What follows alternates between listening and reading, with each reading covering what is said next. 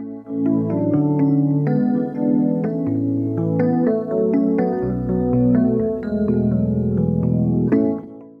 what's going on guys? Welcome into For the Low, the best place on the planet to buy vintage electronics and where all of our products are SpenCertified. Today, I'm gonna teach you how to connect a DVD VCR to your TV. It's very simple, but let's go ahead and get into it. So first, let's go ahead and talk about the rear panel of it, just so you know what you're working with. Right here you have a power outlet, and then you have a tuner, which not every DVD VCR has a tuner. And then right here you have an HDMI port, which again, not every single one has one. And if you have a DVD VCR player that has one, you're only going to be able to look at your DVD playback through it and not your VHS.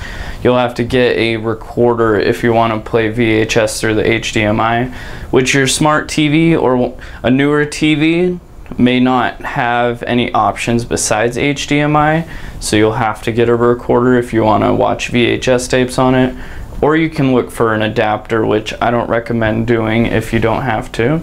And then over here, this will be the connection you will most likely use and is available on every single DVD VCR. It's the composite output, which the output you'll go from here to the TV and then down here you have an input with the same option and an S video. That's for recording. You probably won't be using that, but if you wanted to transfer from another device onto VHS or onto DVD, you could connect something right there. And then over here you have a component video output and then you have the audio output and another composite output as well for DVD only and then S video and an optical digital audio output which you probably won't be using these you can if you want to but these are just for DVD playback so the next thing you'll have to be familiar with is the inputs on your TV and you'll have to decide which one you want to use. So this TV has HDMI composite and component as well as a cable input so we can connect it to this TV however we want but if your TV only has HDMI you'll have to get a VCR that has the HDMI output and then generally you'll be looking at the composite input for most DVD VCRs. And when you go ahead and connect the wires to the TV, you'll want to keep note of which input you're connected to.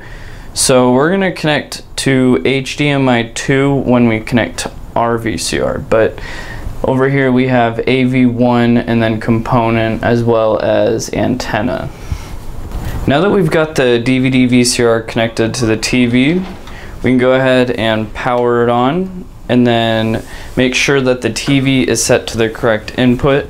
So we want to go to HDMI 2.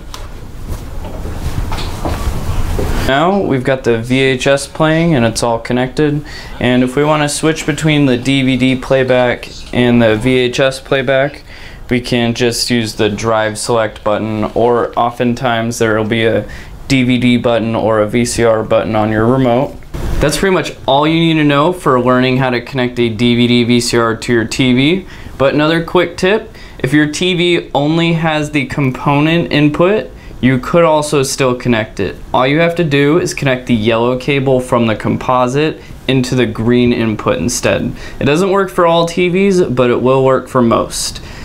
I hope this helped. If you have any questions or are looking for a DVD VCR, you can give us a call.